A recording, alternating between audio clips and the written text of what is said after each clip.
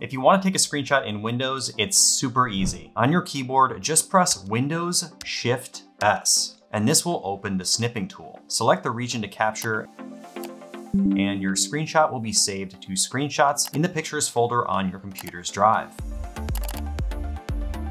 The screenshot will also be copied to your clipboard, so you can press Ctrl V to paste it wherever you need. If you have a print screen button on your keyboard, you can also press that to open the snipping tool. And finally, if you just want to capture the entire screen, you can press Windows Print Screen, and that will screenshot the whole screen and save the image to pictures slash screenshots. So now you know how to take a screenshot on Windows. If you're getting value out of this video, hit like, subscribe, and tap the notification bell to get more valuable content like this. And if you wanna keep learning, check out this video next. Thanks for watching.